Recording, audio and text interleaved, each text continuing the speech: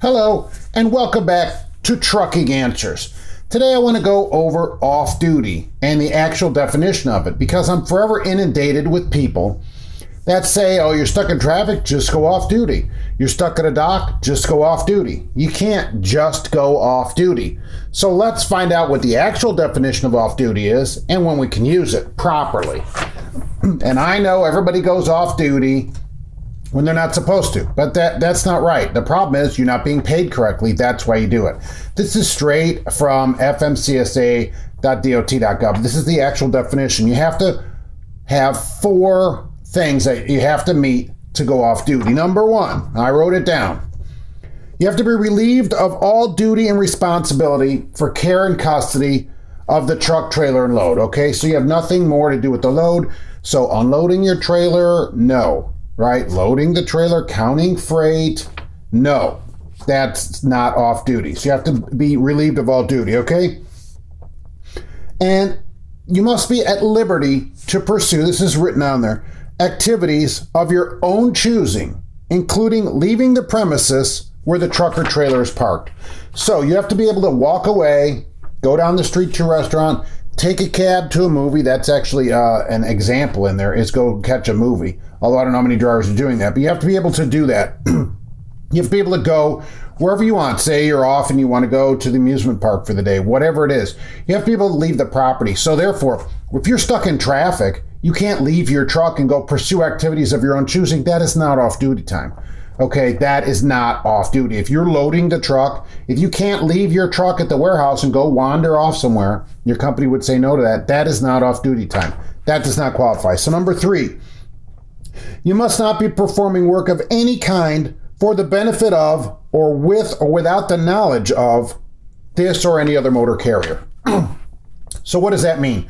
So, you can't be doing anything that they tell you to do. So, they say, you know what, bobtail over here and uh, pick up these parts and bring them back. No, they know about it, it's for their benefit. And so, no, they go take your truck to the truck wash and get it washed.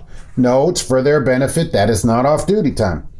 Okay, so with or without their knowledge. So even things that you're doing, I'll just pick this up for them and, uh, you know, appreciate it. No, that's not off duty time. Basically, anything having to do with the truck is not off duty time. You take it to the shop.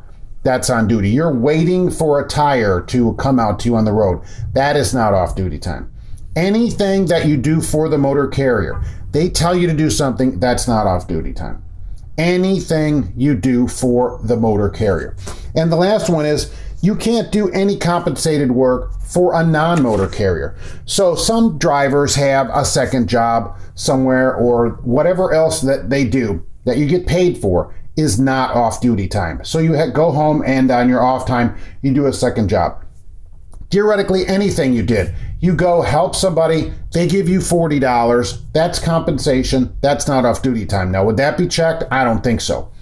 But anything that where you work, where it's a legitimate job, absolutely not. That counts. Okay, so what most people do, they take all this off duty time and they shouldn't. And the real problem is you're not being paid for the time that you sit around. So don't gripe about the rules, okay? Gripe at your company for not paying you. Go get a decent job. But this waiting in traffic and all that, that is not off duty time. You have to meet the four requirements that I lined, uh, you know, that I just said there to be considered off duty. Otherwise, it is not off duty time. You don't get to take all this other time off duty. All right, so that's off duty time. We're going to get into all four of them because I think that there's a misconception.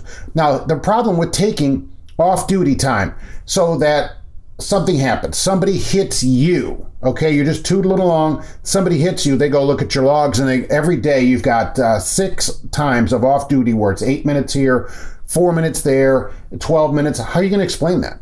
Okay, you can't. And the reason you're doing it is because you're not being paid properly. Go get a decent paying job and then log legal. So that's the story.